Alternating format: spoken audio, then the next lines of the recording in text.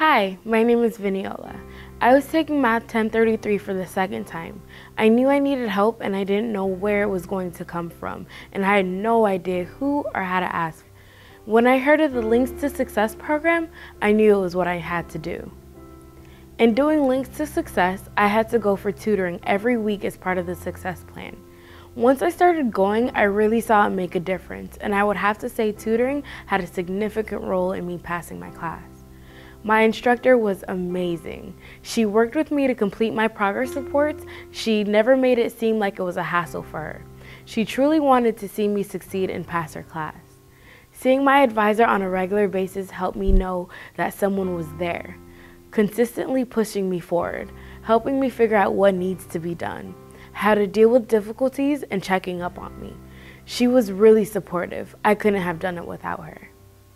Math is still one of my weaker areas. I don't love it, but I could say I hate it a lot less than I used to.